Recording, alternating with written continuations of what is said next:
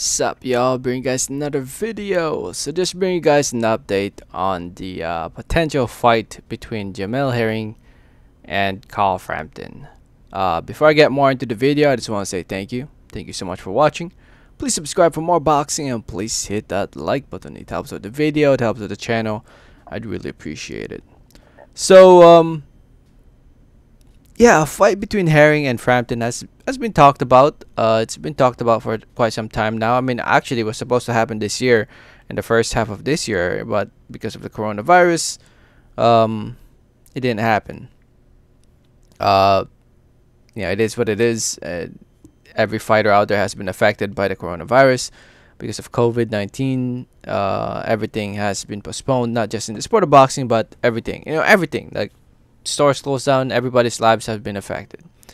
Uh, but it looks like, according to Steve Kim, um, you know, he's a, I would say a pretty respected uh, boxing journalist, in my opinion.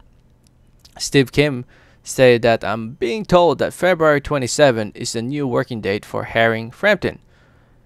So it looks like chances are we might see this fight on February 27, 2021. Uh, Chansard will be in the UK. I think there's more money to be made for this fight to take place in the UK, uh, in Northern Ireland possibly, or somewhere in the UK.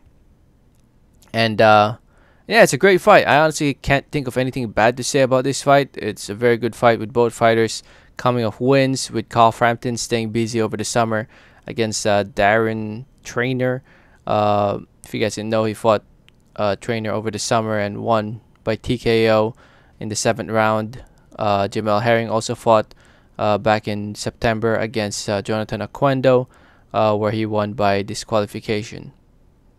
So, so yeah, it's a fight that uh, definitely a lot of people would tune in over in the UK, in my opinion. I, I, I honestly think it's a bigger fight over in the UK. Um, so it makes sense. Uh, more money to be made in the UK. After all, boxing is a business at the end of the day and uh, hopefully we do see it. Hopefully as soon as possible. I think there were talks about it taking place in January, but um, obviously that's not happening because January is coming up in a couple days. So if it were to take place in January, uh, we would hear news about it weeks ago. But now it looks like February 27th. 27th said it looks like it's going to be a busy day of boxing. I mean, there's already a another big day, uh, another big event taking place on that date over in Mexico, possibly the uh, fight between Canelo and Avni Yildirim. So, um, so yeah, February is gonna be busy, man. It's gonna be a busy day of boxing, February. So, so yeah, um, you know, let me know what you guys think. Let me know your thoughts in the comment section below. Uh, what do you guys think about this fight taking place in February? Um, you know, hopefully we hear some official news soon, and I'll keep you guys updated on it. So, for more on Carl Frampton and Jamel Herring Please do subscribe. Let me know your thoughts in the comment section below. Thank you so much for listening and watching. And like always, have a great day. Alright, thanks.